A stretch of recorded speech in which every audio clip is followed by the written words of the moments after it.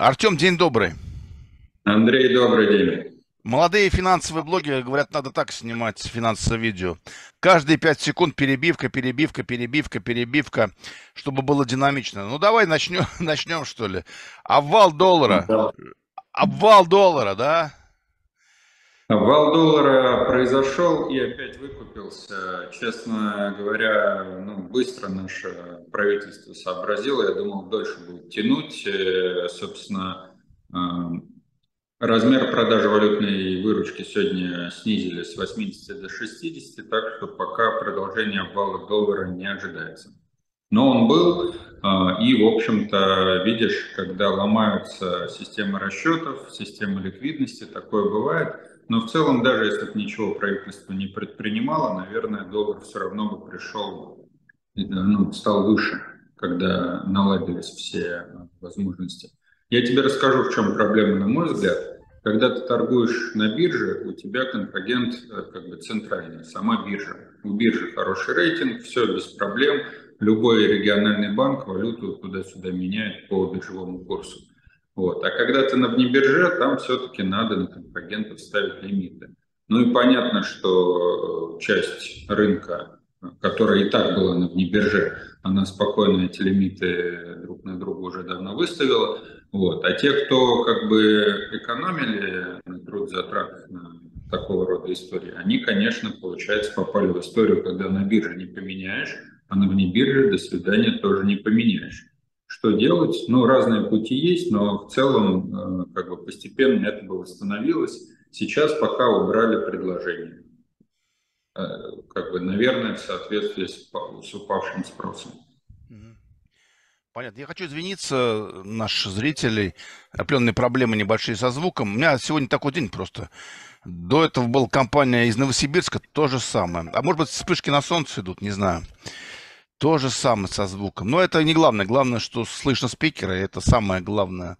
Имеет ли смысл покупать юань? Я вчера юаня не купил, позавчера купил, зато на панике, до, когда падали золото. Вот, фонд золота в рублях. Юаня, у меня юаней хватит с меня. Слушай, да я особо разницы не вижу, что покупать юань или золото, потому что мы, ну, я лично использую э, и золото, и валюту как некий хедж от ослабления рубля. Вот, э, соответственно, если рубль укрепляется, он укрепляется и там, и там. Если он слабнет, то тоже и там, и там.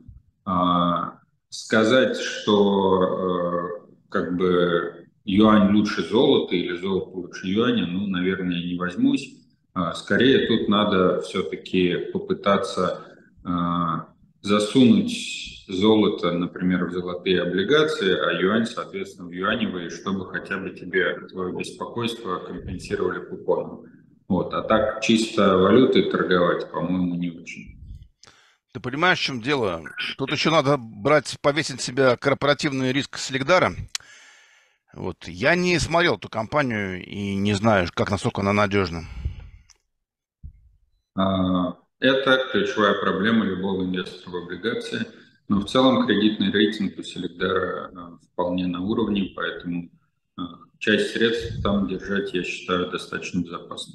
Ну да, я часто держу в облигациях, но значительно меньше, чем просто, просто в золоте этих облигаций. Кстати, сегодня третий выпуск. Вот сегодня как раз 21 число мы пишем третий выпуск, да. Вот по поводу ОФЗ. Ну что, продолжают кошмарить наших инвесторов ОФЗ такими новостями всякими нехорошими. Слушай, ну что значит нехорошими? А, на самом деле нам ЦБ говорил, что возможен такой а, альтернативный сценарий, куда пойдет экономика, а, он туда стремительно идет. Насколько я понимаю, последние недельные данные, то есть экономика продолжает расти, и вслед за ней начала расти инфляция. То есть ключевая высокая не помогла сдержать темпы роста экономики и не помогла сдержать темпы роста инфляции. Какая альтернатива? Ну, на самом деле, альтернатива номер один – укрепить рубль, а, потому что будешь дешевле завозить иностранные товары, ну, меньше себестоимость, вроде как инфляция должна а, припасть. Вот, то есть ты в цену а, товара закладываешь э, меньше себестоимости. Но это все в теории. На практике, конечно, волатильность валюты началась, и спреды только расширились. То есть у тебя себестоимость пока даже повысилась. Для э, валюты, валютной составляющей себестоимости, скорее важно, чтобы курс был достаточно стабильным. Пока он вот такой волатильный, хоть вверх, хоть вниз, хорошо не будет. Ну а что остается? Регулировать цены или, э, соответственно, повышать ключевую. Ну, регулирование цен вне э, рамок действия Центрального банка остается, повышение ключевой, то есть нам могут действительно вкорячить на ближайшем заседании и 17, даже 18, в зависимости от того, к чему мы придем. Пока так. Что делать? Покупать флоутеры. Сейчас три неплохих флоутера выходят. G-Group, э, первое, э, первое клиентское бюро, ПКБ и Европлан, то есть все там инвестиционных кредитных из, из, этих, из этих трех компаний ПКБ у меня уже было интервью, Европлан будет интервью на следующей неделе. Осталось только третью поймать. По поймать и на гвоздик до коллекции. Ну, если надо, пиши в они тебя познакомят. Куда, Валор? АВО, ассоциация... А, АВО. АВО, АВО. Понятно, я думал Валор. АВО позвонить. Вот, ну хорошо, все, договорились. Вот, ну это интересно все-таки. Сейчас у меня, кстати, ребята были из э, Новосибирска, тоже одна инвестиционная компания. Тоже привлекают они инвестирование для ДСК «Автобан» и других проектов. И говорят, вот там определенные трудности возникают у эмитентов, э, у эмитентов МСП. Они называют по-старому ВДО, кстати определенные трудности? Э, ничего страшного. Смотри, э, как ты не называй эмитента МСП, Джанк Бонс, ВДО, э, там мускульные облигации, да, на самом деле любое название в той или иной степени отражает риски. Вот, на этой неделе, в общем-то, насколько я посмотрел последние данные по бирже, было три тех дефолта в облигациях что, в общем-то, много, да, это так, сошли звезды, что все на одной неделе, и, возможно, к вечеру мы даже увидим четвертый техдефолт, поэтому риски в облигациях, э, ну, как, они неизбежны, это часть э, причины, почему там можно зарабатывать доходность выше банковской. Банки что делают? Берут наши депозиты и рассовывают по множеству э, кредитов корпоративных или физическим лицам. Вот, и забирают маржу себе. Если мы идем, но и риск забирать себе, потому что у нас все-таки депозит, да, нет такого, что нам, если банк жив, он тебе выплатит то, что обещал. Uh-huh. А, а когда мы идем в облигации, все-таки надо понимать, что мы занимаемся э, банковской деятельностью, квазибанковской деятельностью самостоятельно, то есть мы берем риски на себя, вот так это работает. Я, кстати, решил рискнуть, осознанно рискнуть и купить стартапы Киберцех и Метакрафт на 37 тысяч рублей на свои личные деньги. Где Они... ты их нашел вообще? Я думаю, что либо они обнулятся нафиг, либо концы и концы. Вот я не знаю, чем это все кончится. Ну, расскажи, расскажи, где можно... Я не могу сказать, потому что за мной пойдут люди и тоже купят киберцех, обнулятся, потом верника будет плохой. Я, ну... единственное, что, наверное, с ними свяжусь, чтобы они что-нибудь там рассказали. В общем, людям интересно, конечно, такие компании. Я знаю многих людей, которые хотят рискнуть. Вот либо пан, либо пропал. И, им надо тоже такую информацию давать. Я дам такую информацию, конечно. Свяжусь. Смотри, Андрей, э, ну, тем не менее, э, мы эту тему с тобой не раз поднимали, еще раз расскажем, да. Это речь про венчурное инвестирование. В венчурном инвестировании есть э, определенная математика. Вот. Ну, например, можете посмотреть коротенькую книжку для самых маленьких антистартап а, Марениса, там он эту математику очень э, доступно описывает. В чем она заключается? В том, что э, инвестор вкладывает деньги, считая, что если компания не умрет, она должна вырасти, ну, условно говоря, в 10 раз. Почему в 10? Потому что по статистике там 80-90% компаний, в которые он вложится, умрут, несмотря на все его усилия по отбору компаний. Это значит, что, ну, если, например, умрет 8, то он заработает там 200% на оставшиеся деньги, да, то есть его 2 рубля превратятся, там, условно говоря, в 20 рублей. Но он вложил изначально 10. Да. А, а если умрет, например, 9 компаний, да, то он просто вернет свои. То есть он как бы вложил 10 и на выходе у него 10 рублей. Да. В этом плане э, история интересная, но точно чего не надо делать, это э, все деньги в одну компанию. Да, да, я, это идеология такая, согласен, я полностью с тобой согласен. Вот, потому что это может вообще ничего. Например, заходишь на э, ВКонтакте, Киберцех, 6 подписчиков на странице. Ну, уже все понятно, да? Компания Щебаксар занимается интеллектуальной оптимизацией процессов на базе искусственного интеллекта в компаниях. Может стрельнуть, а может не стрельнуть. Это вопрос. Ну, честно говоря, э, все еще проще, э, на мой взгляд.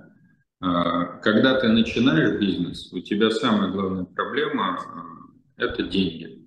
Вот. И если у тебя какой-то там обширный предпринимательский гений, ты, в общем-то, можешь и без денег а, построить компанию. Либо на свои, еще что-то. Если твоего гения недостаточно, чтобы без денег построить компанию, да, то большой вопрос, будет ли его достаточно, чтобы с деньгами построить компанию. Вот. Поэтому здесь ну, есть нюансы, но надо смотреть бизнес-модели. Ничего не знаю про эти компании. Может быть, как бы у тебя левая пятка почесалась, они обе стрельнут и вообще принесут тебе Конечно, конечно. Ну, посмотрим. Вот. Э, мы же аналитики, мы же обязаны, как э, кто там, Луи Пастер, что ли, а вакцины на себе. А мы вакцины не можем на себе, себе колоть. Мы колем вот такие вещи страшные, страшные вещи. По поводу ОФЗ. Когда же все-таки, вот все буквально спикеры говорят мне, покуп, покупай флоутеры, вкладывайся в денежный рынок, фонды. А когда же начнут говорить, э, что покупай ОФЗ с постоянным купоном «Пора»? Знаешь, Андрей, хочу немного пошутить, похулиганить. Смотри, наш рынок сейчас из-за высокой ключевой, он, скажем так, болен. И чем больше будет ключевая, знаешь, как температура, тем э, больше будет падать ОФЗ. Поэтому пока ключевая растет, э, фиксы ОФЗ покупают только люди, которые очень хорошо понимают, что делают, то есть э, которые взяли книгу там по облигациям, облигационным стратегиям и ее, собственно, прочитали от корки до корки и поняли. Вот.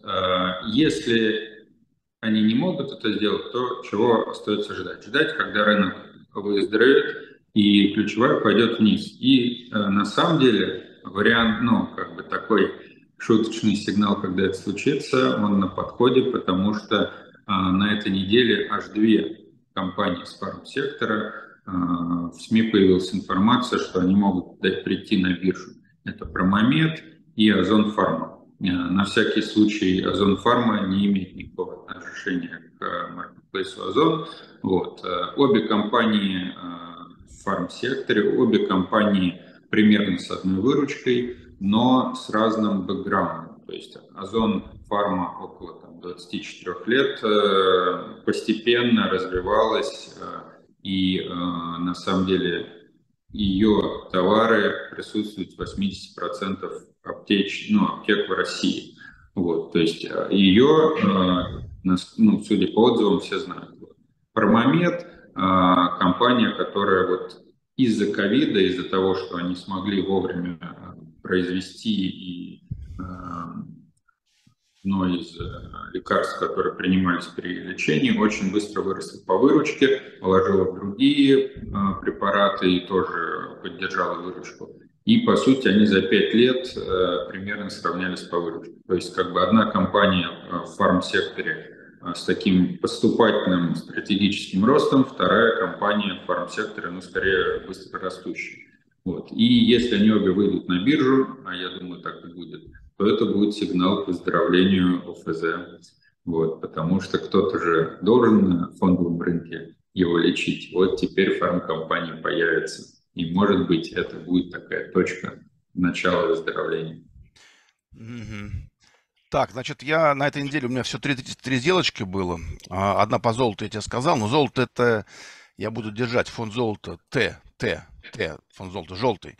Потом я купил в ВК, но он потом, потом, э, потом вырос, и я продал часть вчера. Я об этом написал своим этим. Простите, ВК это не такая тема, чтобы я буду долго держать. И купил я, как и ты, вот Совкомбанк купил я.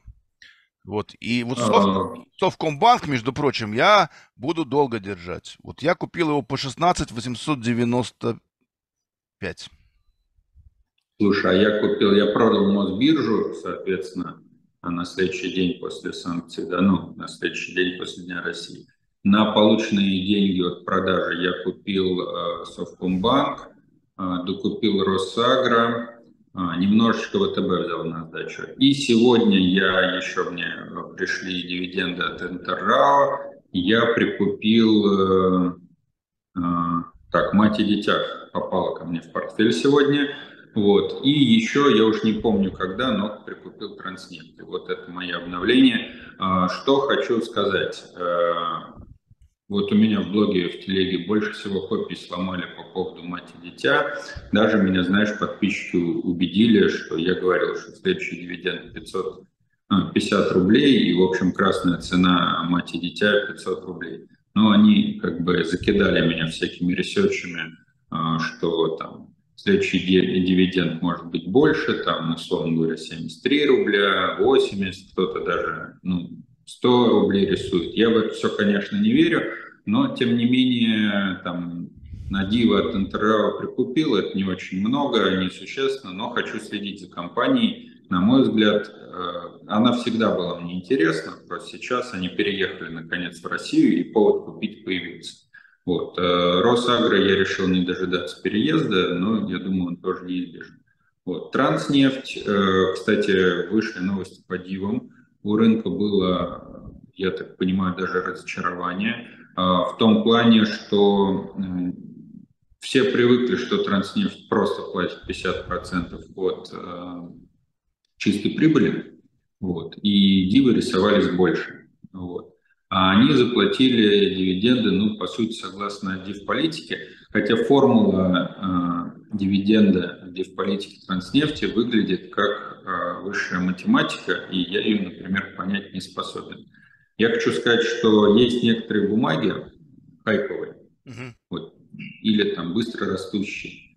Там просто вот бешеный темп роста, все течет, все меняется, и а, как бы там это история для активного трейдинга какого-то. А есть бумаги, ну, типа пенсионные, вот, где на самом деле особо ничего не меняется, но э, поступательный рост, он э, присутствует. Вот. И транснефть, и мать и дитя, на мой взгляд, относятся вот к такому, скорее, уже более спокойному портфелю. А, например, Совкомбанк или сейчас, кстати, мы с коллегами обсуждали МТС-банк, а, они интересны скорее, ну не то что спекулятивны, но все-таки там растущий банковский бизнес, э, который как бы даст тебе доход, если этот рост будет продолжаться теми темпами, которыми он был до IPO. Ну, посмотрим. А, МТС банк руки чешется купить, э, а Совкомбанк уже покупал и держу, да, тоже собираюсь держать. То, что ты на своих эфирах говоришь про 40 рублей, это, конечно, сильно. Через вот. полтора года только. Менее... Я говорю через полтора года только. Да, тем не менее, сказать, что это невозможно, я не могу. То есть э, Совкомбанк, интересна его бизнес-модель, через рост через корпоративные сделки, слияние поглощения. И тут э, как бы они многолетние, на многолетнем треке показали, что они это умеют. Поэтому э, оценки Совкомбанка э, обычными методами, они даже ну, приводят к занижению его будущего дохода, потому что никто не учитывает эти его, как говорится, системные и несистемные доходы. Вот они у Совкомбанка ну, практически каждый год присутствуют. Поэтому, ну, на мой взгляд, он интересен. С точки зрения МТС банка, там они скорее сосредоточены на работу с физлицами, а, эксплуатируют инфраструктуру, соответственно, МТС. Ну, откровенно говоря, я не верил, что у них получится. Но практика показала, что вот когда они наконец-то допилили интеграцию с МТС, эффект появился, и они стали отъедать долю рынка, стали кредитовать интеллектуально. Ну, молодцы, надеюсь, у них как бы результат будет, хотя а, Например, они мне звонили, ипотеку предлагали, ну, меня условия, скажем так, не устроили, и скрипт общения менеджера тоже не устроил.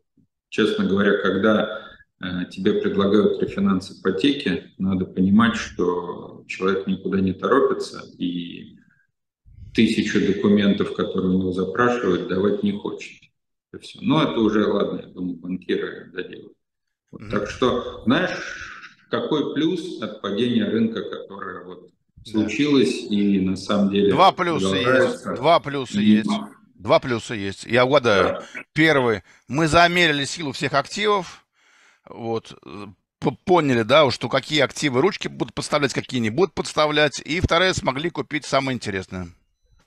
Да, потому что наконец-то цены появились какие-то адекватные, и можно что-то прикупить. Вот. А при этом я хочу сказать, что, а, например, пока рынок рос, я все время готовился к падению. Вот сейчас рынок а, упал или начал падать, это пока на самом деле непонятно. Я готовлюсь к тому, чтобы, ну уже частично даже начинаю закупать акции. И если он будет продолжать падать, я буду опять закупаться. То есть опять твои подписчики будут не понимать, что я делаю, но основная моя стратегия э, не в том, чтобы следовать за толпой. А, меня интересуют активы, которые адекватно стоят, и, соответственно, я их продаю, когда они стоят неадекватно, покупаю, когда они приобретают адекватную стоимость. Артем, вот Артем, я, у меня да. есть рецепт тебе, как тебе за толпой не следовать. Купи стартапы Киберцех и Метакрафт. Точно за толпой ты не пойдешь. А, ну, давай так. У меня есть свое хобби, биржевые акции. Если у меня появляются совершенно лишние деньги, я звоню а, в компанию Health Corpus, говорю, что у вас есть. Они мне называют, там, какие акции сейчас продаются. Я что-то докупаю. Вот. И э, вот там, там у меня э, как бы... Ну ладно, я, я пошутил. Нет, на самом деле, это шутка такая была. Теперь по поводу ГОСа, дивиденда, Сбербанк, надо все-таки эту тему осветить. Я думал, что уже 12 будет известно, сейчас 12.26, э, пятница, пока ничего не известно. По Сбербанку что ты думаешь? Да все будет хорошо. Ну что ты тут сомневаешься в Сбере? Конечно, проголосуют, конечно, выплатят. Все Сбер, между прочим, я ранее на эфирах у тебя говорил, что перед дивами рассматривал возможность продать Сбер. Но вышла отчетность, где как бы признаков для продажи не видно. Наоборот, банкиры сейчас бенефициары этой волатильности на валюте, и по идее Сбер даже будет зарабатывать. А, чего я опасался больше всего? Что Сбер будет сильно наращивать резервы. Но в итоге этого не случилось, то есть резервы не наращиваются, причем не только Сбером, а по всей банковской системе. Даже МФО кулуарно говорят, что у них собираемость выросла. То есть э, деньги в экономике э, приводят к тому, что как бы у, даже у самых как бы таких непростых заемщиков, сложных, есть возможность э, отдавать долги. Да? То есть это речь идет о том, что человек, например, а, три года не платил по долгу, потом пришли деньги, а, все загасилось. Там уже надежду в МФО потеряли, понимаешь, а тут все загасилось. Ну и, в общем-то, на этом фоне а, не, не, растут, не растет резервирование, растет чистая прибыль, но я еще на год Сбер оставляю себя. Дальше посмотрим. Понятно. Есть такая акция, которая 10 числа начнет торговаться, по-моему, июля, очищена. Яндекс называется. Как бы я относился к Яндексу, хорошо или плохо, но Яндекс, весь портфель моего лучшего друга набит Яндексом. Поэтому я в знак солидарности куплю море Яндекса и буду вместе с ним тонуть или пойду наверх. Нам будет о чем разговаривать дальше. Так вот, э, что ты думаешь по поводу Яндекса? А, кстати, очень интересное вчера было в регионе, вот, и группе компаний. Мне э, Валера сказал, что, слушай, когда Яндекс появится, то часть денег э, перетечет из IT-компаний типа Astra в Яндекс. Знаешь, чего Яндексу не хватает? Яндексу не хватает лица. Если найдется в Яндексе какое-то лицо, которая э, будет э, э, Яндекс представлять во внешний мир, например, какой-нибудь топ-менеджер мощный. Вот. Это будет прям пушка-бомба, и тогда Яндекс, возможно, не исключено, будет вот такой российский NVIDIA, когда там просто все покупают, и он бесконечно растет, и там мы все орем, что фундаментально переоценено и так далее, а он дальше растет, растет, растет. Ну, пока такого лица нет, э, я бы сдержанно оценивал перспективы будущего роста Яндекса. Почему? Потому что переезд э, не всех оставил с деньгами. Часть людей, кто покупал Яндекс, осталась без денег, либо в подвешенной ситуации. И это значит, что э, часть инвесторов Яндекса, которые участвовали в предыдущем росте, как бы в новом росте уже не поучаствуют. И ждать здесь. А вот те, кто остались, они могут захотеть зафиксировать прибыль. Поэтому гарантировать, что вот Яндекс обязательно все сделает э, хорошо и будет дальше расти, я пока не могу. Но если бы, например, Греф завтра сказал, что я перехожу в Яндекс, конечно, Яндекс бы стартовал наверх просто ракетой. Вот. А, на самом деле из внебиржевого мира такая мощная новость, которую надо, наверное, осветить. А, Wildberries э, объявил о слиянии с э, оператором наружной рекламы Rus Outdoors. То есть вот, кажется, а, биржа-биржа, вот, а крупнейший маркетплейс в стране и крупнейший оператор наружной рекламы а, делают такую супер мощную, супер большую сделку слияния. Причем как бы с какими-то прям захватывающими перспективами Понятно. в плане освоить весь мир. Понятно. Что нового на твоем канале? А, на моем канале чего нового? У меня просто супер насыщенная неделя, то есть э, делал разборы э, про Мамеда, делал разборы Озон Фармы, делал разборы Мать и Дитя, Сургутнефтегаз, Софтлайн, э, вот даже по итогу разборов Матери и Дитя и споров с подписчиками даже прикупил э, матери немного. Так, вот. а так утвердили, утвердили дивиденды. 33 рубля и 3, 33 и 3. Ну и отлично, и отлично, и хорошо. А, значит ли это, что у Сбера... Нет, Артем, а дальше, дальше говори. Значит, и еще ты ЮГК, да, сделал с Примаком ролик? Да, да, еще к Алексею заезжал, сделали с ним ролик. Э, это, я повесил на своем телеграм-канале это все. А, суть-то какая? Поскольку это ABB, Accelerated Book Building, а, очень мало у людей времени для принятия решений. Ну, как бы это не в первый раз так происходит. ММК обожали делать ABB в свое время, но сейчас подутихли. Вот э, ЮГК продает от 2 до 4 процентов. Я считаю, история хорошая, ну и как бы для ЮВК это возможность продолжать расти, не набирая долго, вот. а для акций это возможность залететь в индекс, э, кстати, вполне реально. Ну, а, залетая в индекс, ты получаешь плюсы. Ну, опять же, на видео с прямаком все это обсудили. Да, с вас бутылка коньяка, я уже все это обликовал. Все, спасибо большое. Да, подписывайтесь на мой телеграм-канал, ставьте лайки. Ссылоч, ссылочка в описании, я им очень подписан. Спасибо.